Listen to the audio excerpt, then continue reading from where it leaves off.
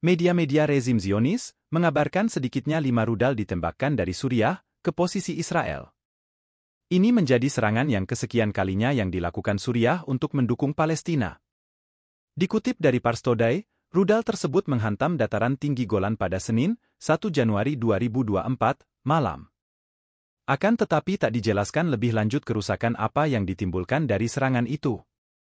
Sehari sebelumnya, media Israel mengabarkan suara sirene tanda bahaya dibunyikan di sejumlah wilayah dataran tinggi Golan.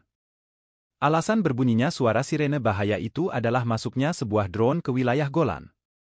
Diketahui, kelompok-kelompok perlawanan kawasan dalam beberapa minggu terakhir melancarkan serangan-serangan ke sejumlah posisi Israel. Tujuannya untuk membalas kejahatan rezim Zionis di Gaza.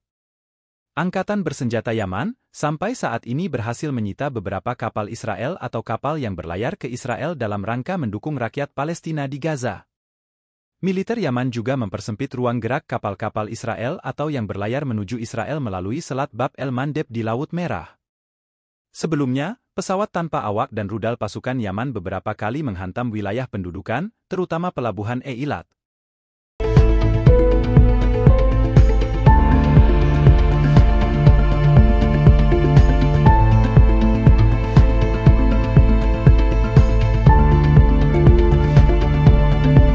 Download Tribun X sekarang.